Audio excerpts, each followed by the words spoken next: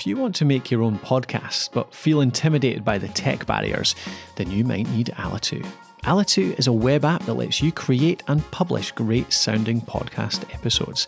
It takes care of the complicated stuff, leaving you free to concentrate on what you do best talking about your passion. Alitu, the podcast maker app, find it at alitu.com. That's A L I T U.com.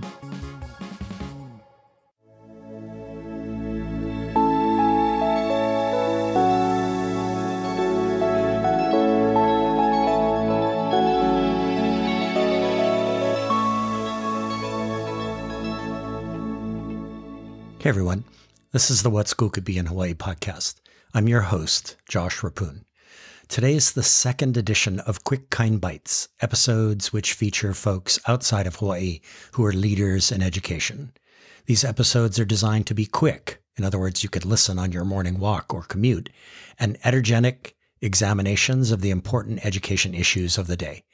In the first Quick Kind Bite, we talked to middle school expert Chris Baum. Today we are talking with Stephanie Malia Krauss, who just released her first book titled Making It What Today's Kids Need for Tomorrow's World. Stephanie Malia is a mom with a background in education and social work. Through her experiences teaching and running a school, she realized that getting young people to graduate does not always mean they are ready for life. This was true in her own life. As a high school dropout, she needed people and opportunities within and beyond school to prepare her for adulthood. Stephanie Malia, who is native Hawaiian, works at the intersection of education, human services, and workforce development. Her work focuses on what young people and their families need to survive and thrive now and in the future. She is a senior advisor to Jobs for the Future and a staff consultant for the Youth Transition Funders Group. Learn more about her work and ways to collaborate with her at stephaniemaliakrauss.com. And now, here's my quick kind bite with Stephanie Malia Krauss, author of Making It. Stephanie Malia Krauss, welcome to the show. Aloha, Josh. So glad to be here. Awesome. So, hey, I'm going to set a clock for 40 minutes because this is a quick kind bite and we're going to try to keep it relatively quick. So, when the timer goes off, we have to quit, we have to stop. Um, uh, either that or we'll run out of questions, um, which I don't think is going to happen because I literally have like a thousand questions to, to ask you, but that's okay. We will, we will quit at the 40 minute mark. Okay. Sounds good. I just set my own timer. Awesome. Okay, here we go. So let's talk for a minute about your personal journey. What is the most relevant part of your background we need to know about you before we dive into your book? From an education perspective, um, there's one answer, and then I think there's an answer around like who who am I?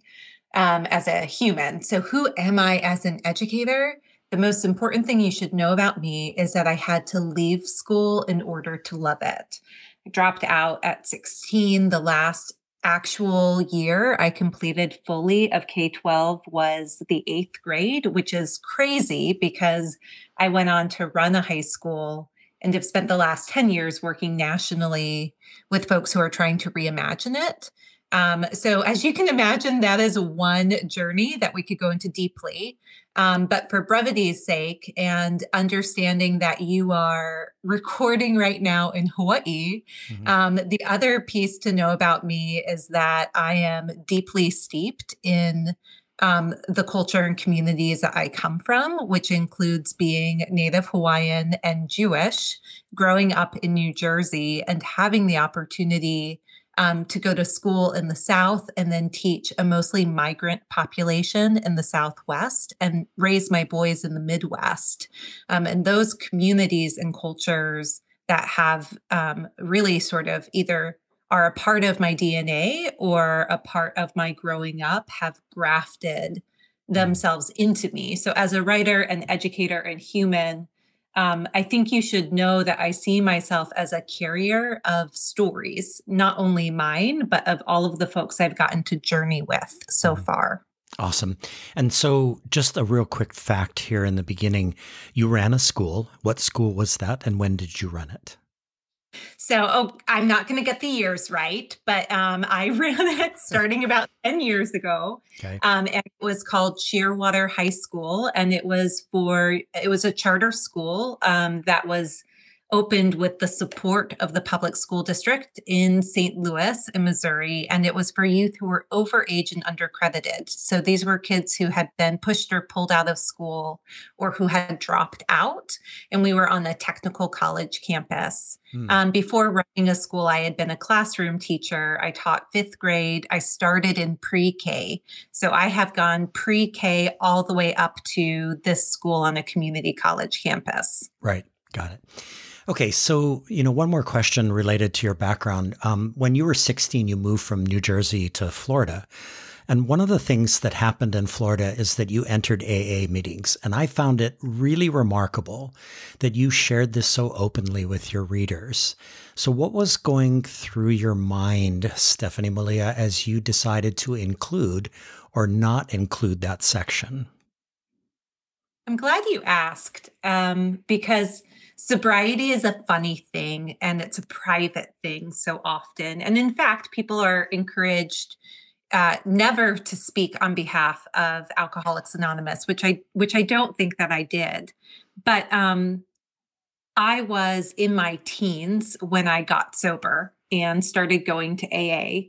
And what I've learned is that um, in terms of the way that young people's brains are that you're technically in adolescence you're a young person until you're 25 and so one of the reasons i wanted to talk about getting sober so young in the book was because those really formative years those like high school aged years i spent in in recovery and with people who were really different from me. It was in Palm Beach. And so many of them were quite wealthy, which is what I talk about in the book. Um, and so much of the the world as I saw it and possibility of what I could be um, and what school could be changed and evolved because I was living alongside these other people who were as broken and normal as I was because they were in recovery um, from addiction, but also had had these really rich and different life experiences. So I wanted to point out to folks how much learning can happen outside of the classroom. For me, so much learning about life um, happened inside of the mm-hmm. rooms of AA. And then because I've been sober as long as I have and have had the opportunity to be a, a sober educator and a sober mom, um, I, I, felt comfortable sharing that mm. and comfortable in how to share it. Mm, that's that's super interesting. Um, so we are going to move rapid fire through a series of questions about your book, Making It, which just was released today, which is incredible. And I'm so privileged to be talking to you today um, as a new author. So, um, Karen Pittman, in a forward to your book, called you a force of nature, which is pretty cool. And she cited a project that, and I quote, created a universal list of competencies youth need to succeed that speaks clearly to young people, resonates with with leaders across multiple systems, from education to juvenile justice, and is grounded in everything we know about learning and development. So, what was the genesis of this competencies project? So, I mentioned I had to keep leaving school to love it and to love learning. Um, so, first, that happened myself when I dropped out, but I also have the painful and important experience of closing the high school I mentioned to you. Mm-hmm. Um, so we were operating a school for 17 to 21 year olds who needed to be ready for college and work and adult life. And they would enroll in our high school, and we had a million requirements from the state of Missouri of what it meant to graduate with a Missouri high school diploma, including that every unit of credit you needed to be in your seat in a classroom in a school building for 7,820 minutes. And the wow. math didn't add up. And so I was in this moral conflict of a group of young people who really believed in earnest that if they got a diploma from me, it meant that they were ready for life. And I knew that the requirements of graduating high school and what it actually took to be ready for what comes after high school were not always compatible. In mm-hmm. fact, they rarely were. And in this case, they were not at all. Um, and so the we had developed uh, the first competency based high school in the state of Missouri um, and had come up with this model called 21 by 21. It was the mm. 21 competencies young people needed before the state would stop paying for them to be in school, which was their 21st birthday. Mm-hmm. And um, we couldn't do it we could not do the model that we knew was best for the young people we were serving. Mm-hmm. And there was a missional conflict, and we closed the school. It's a different conversation, but I can tell you we did it deliberately with the support of the community. Young people were well taken care of in the transition, and it was still hard. And during that time, Karen Pittman, who called me that force of nature, um, reached out. She was working, she had founded and was leading an organization in Washington, D.C. And they had for a long time been asking the same question I was in the closure of the school, which is what actually does readiness require for life? Mm-hmm. Not how do you graduate high school? How do you complete a program? How do you finish something? But what actually does readiness require? Mm. And so she invited me to join her. And so in that closure, I transitioned from local to national work. And we went to the Ford Foundation and asked if they would give us time to dive into the science of learning and child and human development um, and talk to everyone from employers to educators to pediatricians compare all of the different lists the social emotional learning skills the competencies 21st century skills employability skills you know all of these these different sets of things that people say are important for kids and then push it against the science mm. and what emerged was a publication that predated the book that we're talking about, and mm. it was called Ready by Design. Um, and it was the science and art of youth readiness. So, um, you know, making it as a book, and Karen talks about this is sort of the delivery on a down payment. It started with mm. 21 by 21 in school leadership with a bunch of academic content requirements that were cumbersome and that weren't always what was most important for kids and then shifted into the Readiness Project at the Forum for Youth Investment with Ready by Design, looking across all of these systems and sectors and the science to say what is really most important.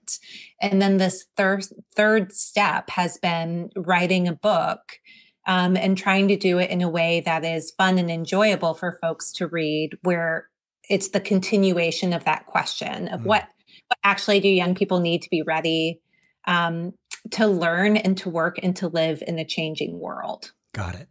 So, so Maria Flynn, in another forward to your book, wrote, and I quote, in order to reimagine education and work, we must embrace change from within our systems and drive change outside of them. What did she mean?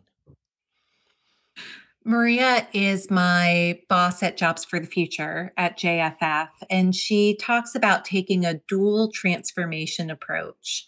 Um, and among folks who are committing to abolitionist work, I have heard something similar, which is a recognition that the schools and systems that young people are in are inequitable, they're flawed, they're outdated, and young people are still in them every day and educators are still working in them every day and there is a need to optimize what is possible inside of these broken mm. systems. And to push on the bounds of what's possible mm. but there's also a need to design from the outside the kind of learning that is steeped in how we're designed to learn and grow and develop and be curious. Mm. Um, and that you have to do both at once. You have to meet young people where they are, even as you're building for something better. One of the things I talk about in making it, and it's it's a risky move, I think, is I am a big believer in the chance for young people to thrive and flourish. But I also, like the pragmatist in me, I wanted to be able to provide a roadmap for educators, parents, coaches, counselors, anybody raising or working with young people for how do you how do you help young people get the education and preparation they need in a world and in systems that are still unfair and unjust even as you're building a better world and what does that dual call look like of what maria talks about both um, working to optimize what you can from the inside and also aggressively building new on mm. the outside right Right. Okay. Awesome. So then, perfect segue. Um, your book is grounded in an essential question, which is what does it take to ensure young people are ready? And my question is ready for what? I don't know. Oh my gosh. Have you seen the world recently? Ready for what is right? Um, so two things. One, I'm so glad you said essential question. Grant Wiggins was a, a, dear friend and mentor of mine, and he gets a really big shout out in the book. And he taught me um in in terms of like designing from the outside to just at basic, he wrote, this is a guy who, as you know, wrote thousands of pages of, of books.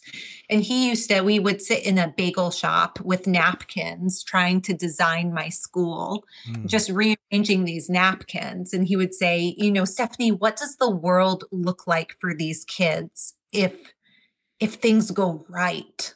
And that's where you start. And then you build back from there um, and what are the characteristics of a young person then who is who has the opportunity to have this decent and good life um, so for me ready for what is ready for adulthood in a rapidly changing world so what i really wanted to know was for any young person uh, what do they need for so this was this was crazy josh. Like one of the things that came out in the research is that kids who are born today will live to be if they have the right resources and supports 100 years old. Mm-hmm. they will have a 100 year old life. And and so for me it was moving the the end point uh, we talk about college and career readiness in schools. And I actually think that we need to be talking about long and livable lives. Like, how do we not just get young people college and career ready, but how do we get them ready for the possibility of an 80 year work life?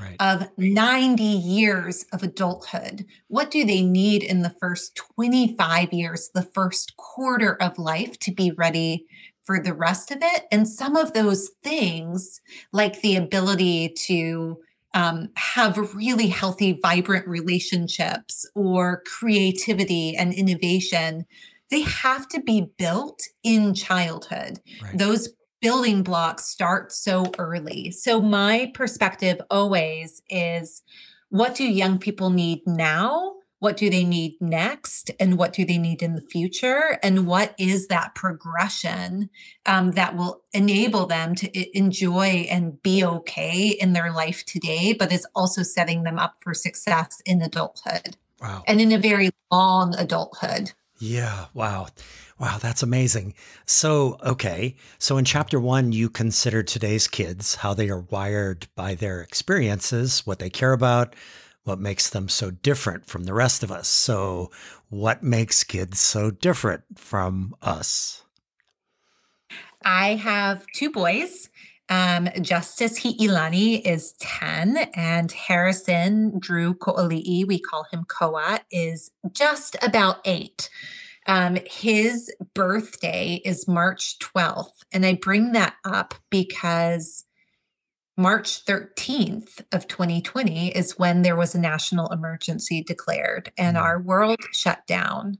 And so Justice was born in 2010 and Koa was born in 2012 um, or 2013. And both of them were born years after the smartphone came out, which is 2007. Um, their births were announced on Facebook. I started their digital like journey footprint without their permission while they were in the womb. Um, they are complete digital natives and they are disruption natives. This is their childhood. The and I say it in the book, the first time that Justice got on a school bus was to practice an active shooter drill. Wow. They have grown up in a time of extreme weather and climate change. Um, they have now survived their first pandemic and potentially not their last. And and they only know a world with um, digital devices around them, surrounding them, and a world that really relies on internet. And what's important to understand there is that this is all that they know, and it will get progressively busier and more complex. Mm. And so the question is like, what does that mean for them and what does that mean for their futures? And so for them one of the things to know is that the brain is wired and rewired based on the experiences we have and the environments that we're in. And so they are being um, shaped neurologically shaped physically um, shaped emotionally mentally shaped by these experiences. If if you are a high school senior this year or last year, it means that you were born right after 9 11. You started kindergarten in the middle of the Great Recession, and you're going into college or the workforce or adulthood in the middle of COVID. And so you've got these book-ended pieces. Um, and and so, what that means, just briefly, and I give it a really deep treatment, I hope, in the book, is that as digital and disruption natives, these are young people who are, by design, very innovative and creative. They're also the first majority minority group of young people that we've ever had. Um, they are primed for activism and advocacy, like we saw after Parkland. Mm-hmm. Um, but they're also deeply concerned and afraid for their lives.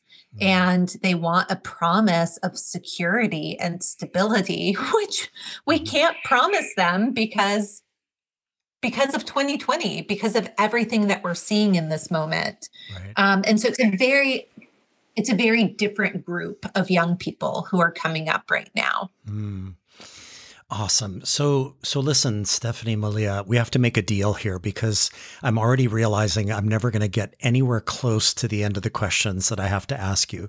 So, how about this? Let's do this as a part one, and then we'll have you come back um, soon for part two.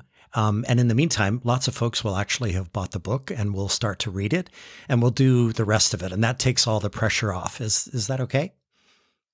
Sounds good. And I'll, I'll work to be briefer. No, no. brevity is a learned skill. it is. That's right. But, but, but no, we don't want you to be too brief. So, okay, we have a deal. All right. So continuing on, um, and, and, a, again, a, a great segue. So in chapter two, you examine our rapidly changing world and workplace, which you were just talking about. And you explore how machines and sheer momentum and an evolving market are reshaping how we live and how we learn and how we work.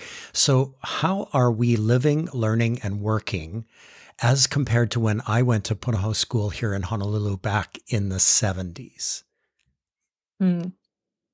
Well, um, certainly different than Punahou in the 70s, for sure. Um, this is the chapter in Tomorrow's World for any educator or parent who is listening right now.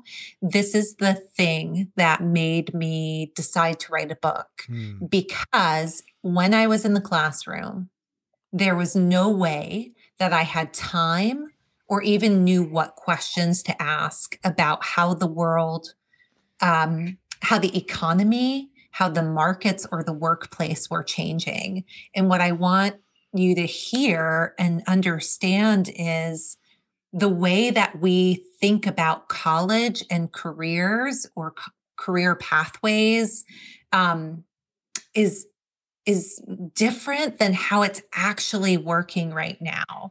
So I've been out of the classroom, off front lines for eight years, and I've been in these national positions working on workforce and higher education issues in addition to young people. And what I've learned is not only will the kinds of jobs that young people have be changing rapidly. And when we can talk about that for a hot second here in just a moment. Um, but what I said about this like prospect of a 100 year life mm. for young people who have the chance to live a long life, and there's a lot of um, a lot of details to dig into to from an equity perspective who gets the possibility and promise of a long life what do you need to have who's most likely to have it but if you if you live that long life an 80 year working life is a lifetime of work. If you think about how long people are living right now as compared to these kids. Mm-hmm. And the chances are that our kids, and when I say kids, I mean everybody sort of 20 and younger, um, they will have multiple careers uh, upwards of 20 or more jobs, and often more than one job at a time. So there are all different types of work. And then, in relationship to technology, with the rise of things like artificial intelligence and big data, these are young people who are going to be working right alongside technology or even working for technology. So you might have a job like uh, being a craftsman. You know, you're um, you're living in Hawaii, you're making um, jewelry, and you're using Etsy in order to sell your goods, and right. you rely on technology. Um, or a gig worker who relies on that Instacart app.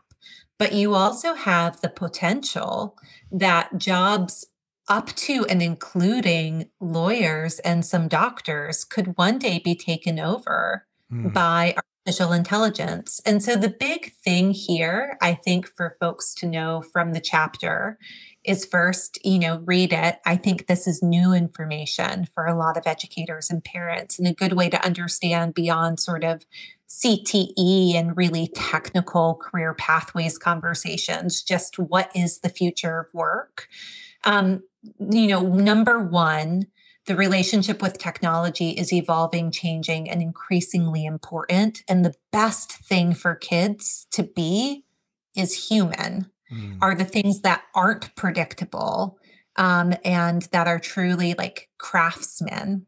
That's number one. And I dig in more there um, in the book. Number two, we feel the overwhelm and the overload of how fast everything is moving and changing.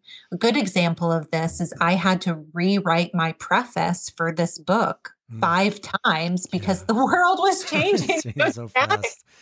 Right. right. Yeah. Um, and so that is that's sort of the the situation. And so being able to raise young people to to be able to live and learn and work in the mm. speed of things is the second. And very quickly, the third would be that the post secondary market has actually changed. So, because we are learning and working for so long, our success is actually, or our kids' success is going to be on their ability to continuously update and mm. upgrade what they know and can do. Mm. Are they learn are they lifetime learners can they continuously learn and go back to school or go back into a training program to keep recreating themselves in this market um, so that they can make it mm.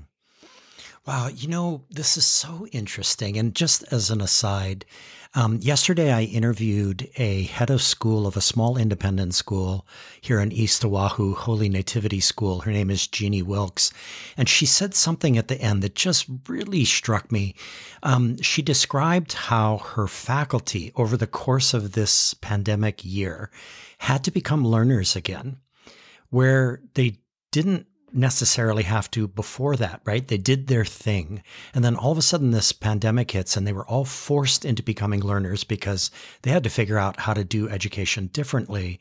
And I'm just, you know, struck by that idea that the pandemic has created this, this wrinkle in time that's forced us, the adults, as compared to the kids who've, you know, been in it for a while now to actually learn. And that maybe the long term effect of that is that we will have a greater respect for lifelong learning, especially in a life that's going to last maybe a hundred years. You know, what do you, what do you think about that? I think that's right. I think all of us need to be prepared for a long lifetime of learning and work. And if we can't come at it with a posture of what do I still need to know, what don't I know, and who knows what I don't know, yeah. um, then we'll be in trouble. And and that is a big shift to move from let me show you what I know and can do to let me show you what I know and can do and can continue to learn to know and do. Mm. Um, and with young people, what that means is they actually have to learn how to learn right. and how to persist and struggle and recreate and define themselves. You know, you've been a leader in Hawaii at thinking about innovation and creativity and um, reimagining. And there is an aspect of young people having to be ready to reimagine and redefine themselves and their relationships over a long period of time. Right. Um, I'll say one other piece there, which is what that means for our young people who are thinking about next year, maybe they're about to graduate. The time horizon needs to adjust from what do I want to be when I grow up to what do I want to do next mm. or for a while um, because there will be opportunity to kind of go back into this post-secondary marketplace and do something different after doing one thing for a bit. Mm, mm-hmm, mm-hmm. So awesome. So let's let's do a specific example. Um, Jennifer Silva is a pediatric cardiologist um, and how does she fit into your book, Making It, that you just released today? I love Jen Silva so much. So this is um, this is my children's doctor. Our family has a heart condition that we're all monitored for. Not sure we have it, but we know somebody does. And so she she sees my boys every year. Um, she, like me, is a mom of two and her husband is a tech entrepreneur. Um, and she has mastered how to use technology in a way that makes her a better doctor while still being fully human. And so I use this story in the book because I think that it's such a powerful one where she's kind of pioneering the kind of relationship with technology that I think will be emblematic of what our kids have um, moving forward. She works on little people's hearts. So you can imagine, like, there's nothing scarier or more um, intense than holding a child's heart and life in your hands. And what she realized was she needed an opportunity to practice procedures without actually ho- opening up a little person.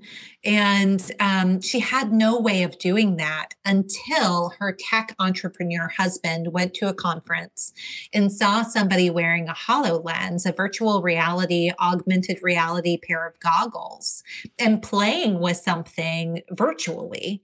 And he imagined a technology where Jen um, could and fellow pediatric cardiologists could put on goggles and actually see the hearts that they were going to be operating on and that they could practice and train using the technology um, before the procedure. And so they did it. They founded a company and developed the technology. And I, I include it in the book, but I'll say it here because it's so powerful at the end of our conversation of talking about this relationship with technology um, in healthcare and her perspective as a mom and a doctor, I asked Jen if she thought robots would ever take over in the operating room because robots can be very accurate and precise.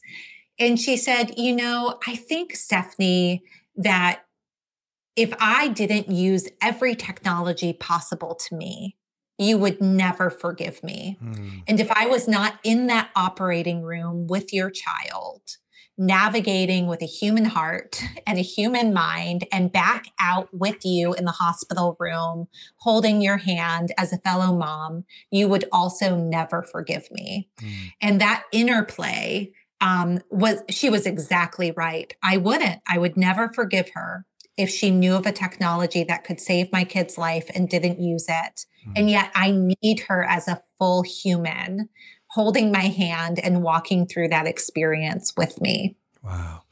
You know, as I was reading your manuscript, if you will, um, that's the story that really locked and loaded me. That's where I really got pulled in um, because it became very, the whole thing that you're working on here, the essential question that you're working on became very real at that point. Um, so I'm I'm encouraging people to get the book because you actually have peppered your book with these kinds of stories, and they're very meaningful.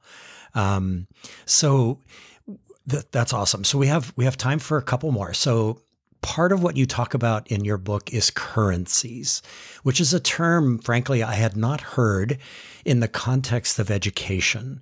Um, so these currencies are competencies, connections, credentials, and cash. So could you explain this a bit more? And then I'll have a follow up question for you. Yeah, um, thanks for bringing that up. And just to your stories piece, I know how busy it is to be a parent, to be a teacher, to be a coach, to be a counselor. And I really wanted to write something that was enjoyable and easy to read because life is hard and we don't have a lot of time. Um, so I'm really glad that you grabbed onto Jen's story. And I, I did try to share um, a lot like that throughout the book. The currencies are a new term, and I'm challenging folks in this book to become currency builders. Um, and the idea here, I'll just tee it up and folks can read about it more in the book, is that in the in the past, so go back to Punahou in the 70s, the idea at Punahou um, and elsewhere was you need to graduate from high school and go to university get a degree from university and get a job, get better jobs, make increasingly more money, and at some point retire and give back to your kids. Um, and that is already like a deeply flawed and inequitable social contract. It has mm-hmm. never worked for everyone. But at this point, it's also just like totally out of date. It doesn't work for anyone anymore.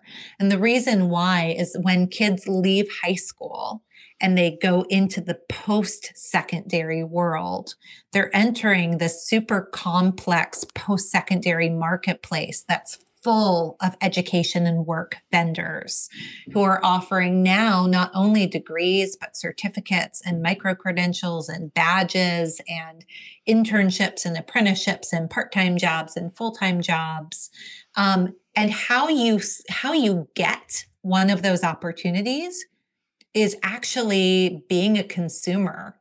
Now, for the social justice warriors who are tuning into this podcast, I am not a promoter of capitalism. I did want to provide a really clear, accurate roadmap of how this world works. So, flawed, unfair, unjust, it is all of those things. And it is also the way that opportunities happen right now, which is the more money you have, the the more people you know has as much or more to do with what opportunities you can get for college placements, for jobs or internships as having a credential and having the right skills or competencies. And in the past, what we have told young people, particularly those who are poor and um, who are already held back because of racism, injustice, oppression, other things, is if you just have the right skills and you just get your credential, you will be okay. But it's not actually the way the world operates. People really care if you know someone they know, or if you bring social capital to the table, or if you can either afford to purchase an opportunity or for afford to do something for free like an unpaid internship that then gets you in to a better job down the road. A kid without resources is not going to be able to take that on. So what i wanted to do josh was to really make clear that young people actually need to acquire skills and credentials competencies and credentials but they also social relationships and cash are fundamental and if we are about educating and preparing young people for life after high school we actually have to care about that mm. but that those things for us as adults you know josh and, and stephanie as adults here mm-hmm. we are also using those to take on new opportunities and we spend them down and then we have to acquire new so if I have a skills gap or a competency gap, I've got to get training in it. If I run out of money, I need more money. Hmm. Um, so that that was what I was really focused on with the currencies. Wow, that's so interesting. So so look, um, I'm going to save the follow up question to be the lead question for part two. Um, and I just want to tell everybody listening that in part two, um, some of the things that I want to talk about with you have to do with what you call living in an open source society. I want to talk about Tom Friedman's phrase, the age of acceleration, and something you call momentum. Um, I also want to talk about how we're shifting from a white collar, blue collar paradigm to something entirely different, um, and about what it means to be a you know a worker um, in tomorrow. And I also want to, uh, you know, in the in in tomorrow and going forward for that long life, I also want to talk about some things that you write about related to um, being hyper connected but totally alone, um, which I found mm. completely fascinating. And I also want to ask you a couple of very curmudgeonly, cranky questions about the College Board and the 1.3 trillion dollars worth of college debt that our um, 30 million Americans hold. But we'll hold that for part two, right? So I want to. I want to end. We're gonna we're gonna buy a few extra minutes here, and I just want to end with this question for you, um, Stephanie Malia. So I would love for you to tell our listeners how writing this book changed you personally, and how your views and ideas shifted as you researched and wrote the book. In other words, how did the process reshape you, and in what ways did you remain fixed on a core element that was you? Hmm. Thank you for that question. And I can't wait for, for part two. Number two. Yes. I know those are great questions. Um, oh gosh. Okay. So number one, how did this change me? As a mom and educator, I was rocked by this idea of a 100 year life and it be, for all of the implications of like, how do you how do you financially afford a 100 year life? And how do you work for 80 years at a time? And what is actually most important? So for instance i think we're on the cusp of an incredible mental health crisis and i'm really terrified about it for our kids. And if the if the focus is a long and livable life and not college and career readiness, I mean, college and career readiness is important, but also we have to keep this bigger picture in mind. Then attending to mental health needs right now is imperative.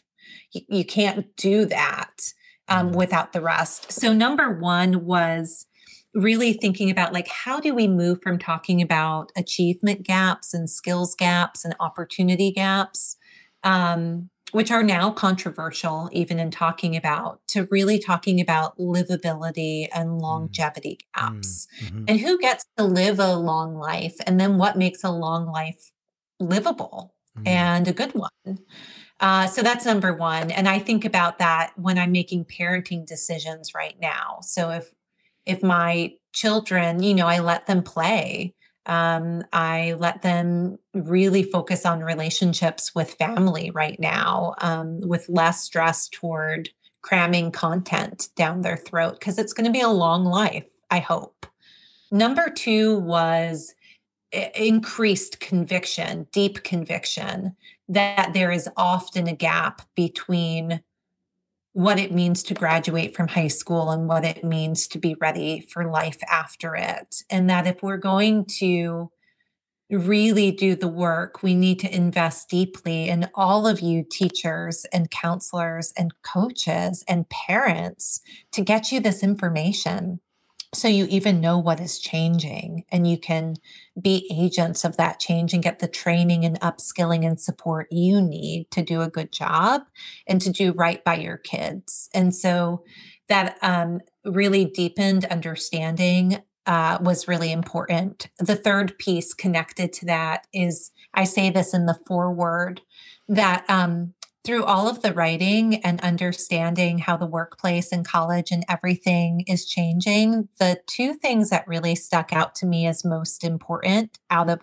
all of it were um, social connections.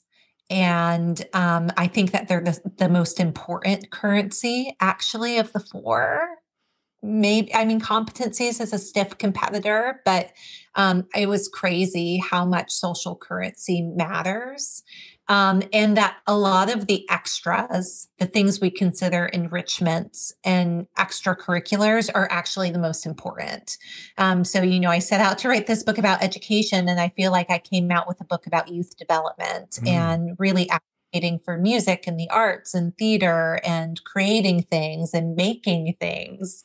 Um, and that was an evolution that surprised even me. That's fantastic.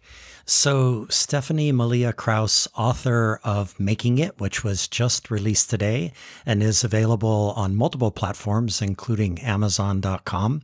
Thank you for being on the show today. And I'm already looking forward to part two of our interview. We'll figure out something really creative to do for that part, maybe in front of a live audience of some sort, um, but we'll figure it out and get it scheduled as soon as possible. Thank you very much for this time. I appreciate it so much, Josh, and I look forward to the next conversation.